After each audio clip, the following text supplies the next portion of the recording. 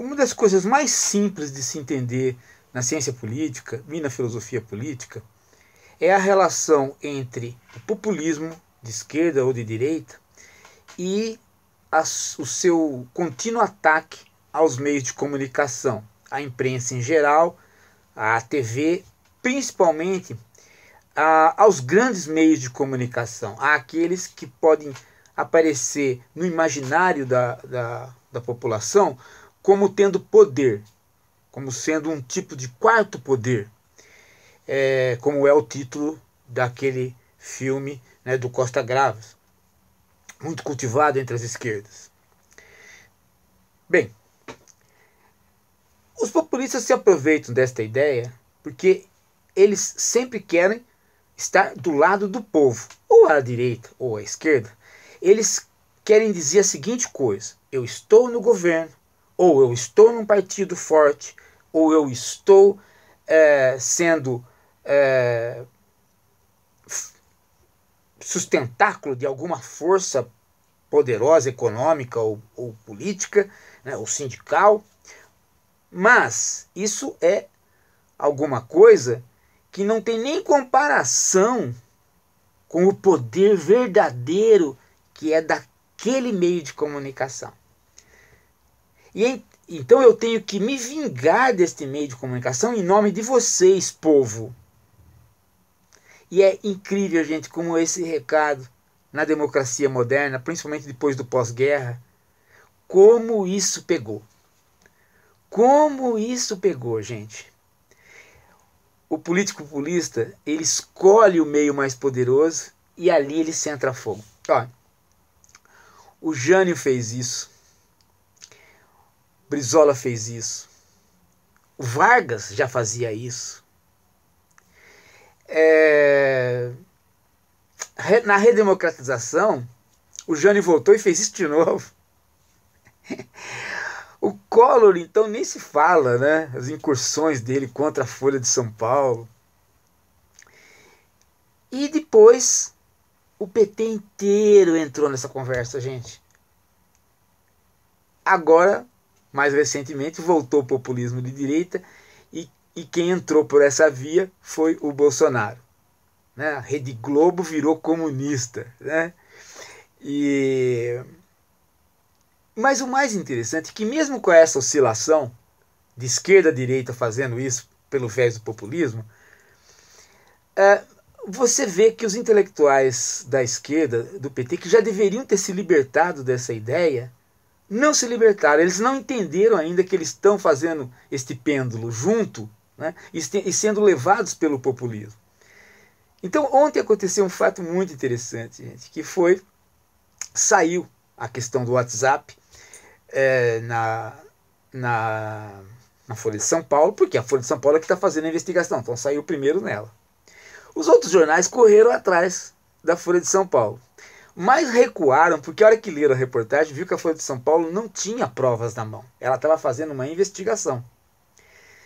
E recuaram também porque a questão não havia, não havia ainda chegado no TSE para o TSE dar alguma manifestação.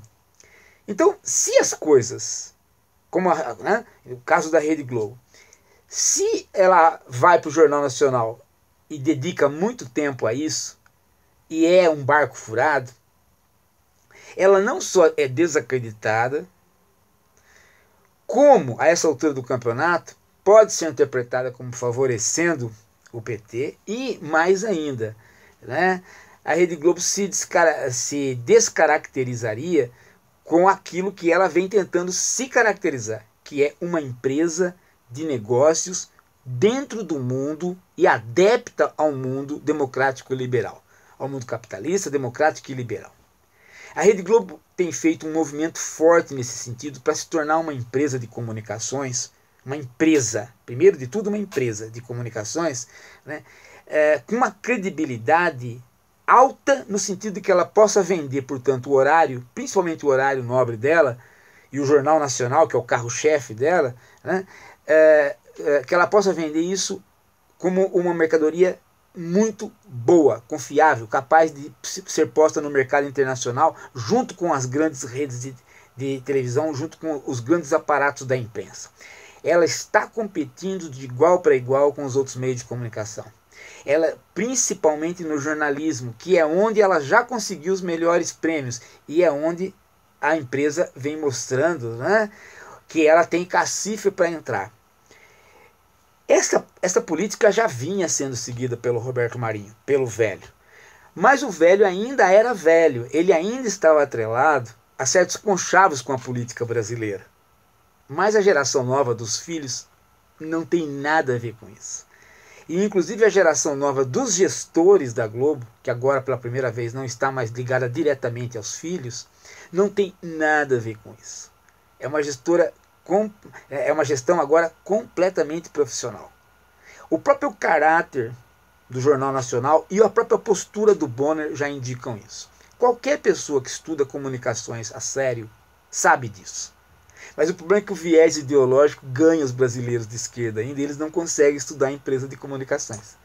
Eles ainda acham que uma empresa de comunicações está atrelada ao governo e a partidos e é uma, um aparato ideológico. Ela não é um aparato ideológico.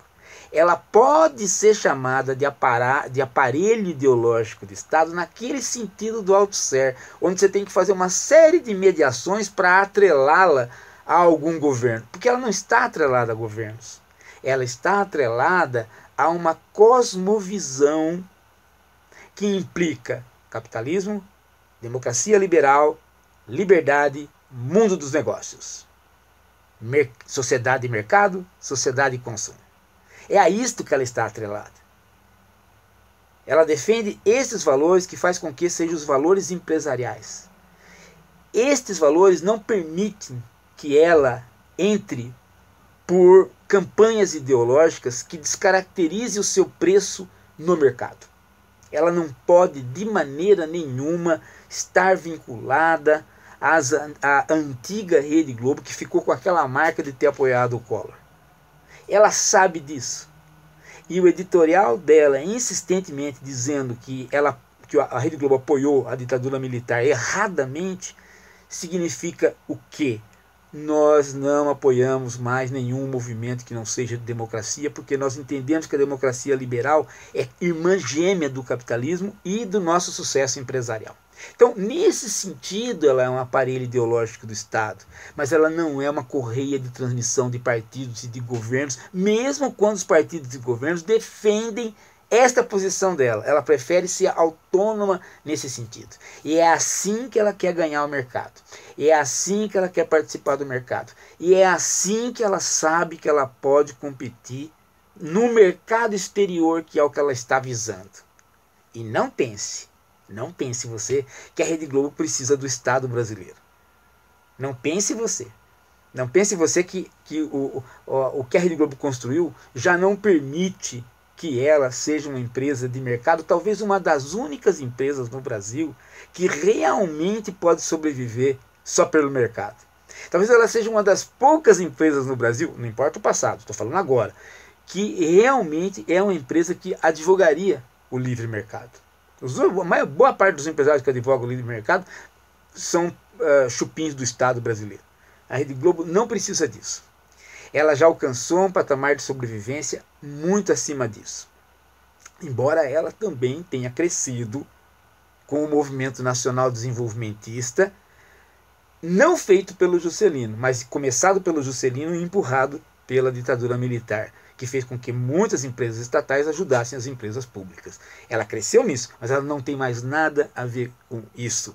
E o Jornal Nacional tem se tornado cada vez mais independente, não do liberalismo, mas dos partidos e das posições. Então a questão da verdade hoje, a questão da investigação séria, é muito forte dentro da Rede Globo. E mais ainda, gente, o problema maior da Rede Globo é sobreviver aos problemas gerados contra o seu departamento jurídico. O número de processos hoje é muito grande na imprensa.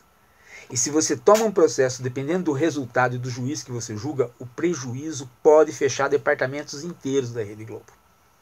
Por mais sucesso econômico que ela, que ela tenha. Né? E ela sabe disso. Então ela, ela é muito cautelosa para entrar numa notícia quando não é ela que está fazendo a investigação. Quando não é o jornal o Globo, quando não é ela que está fazendo a investigação, ela é muito cautelosa. Ela espera 24 horas, 12 horas, 13 horas para ela checar e ter uma possibilidade de falar aquilo de modo isento. E foi o que ela fez logo depois. Os petistas mais emburrecidos ainda não entenderam isso. E o, o mais triste é que você vê o PSOL ainda nisso, né? repetindo os jargões dos bolsonaristas, que a Rede Globo manipula, que a Rede Globo demorou 24 horas. Depois, a hora que a Rede Globo põe a notícia e explica de modo esplendoroso, aí eles falam assim: a Rede Globo se redimiu, ela cedeu ao, ao poder das massas. Meu Deus do céu, meu Deus do céu.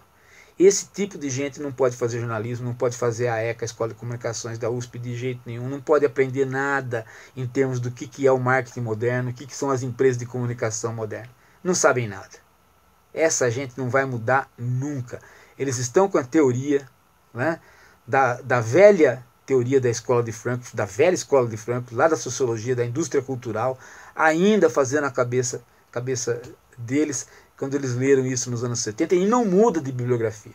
Não consegue entender o mundo liberal, o, o mundo do capitalismo moderno, que as empresas de comunicação, qual, em, no qual as empresas de, de comunicação estão atuando. Né? Ninguém mais quer. Né? Você imagina, né? As pessoas não estão entendendo absolutamente nada, né? As pessoas não estão entendendo absolutamente nada. Elas, elas acham né, que os empresários brasileiros, né, são todos iguais. Eles não são todos iguais. Eles não são todos iguais.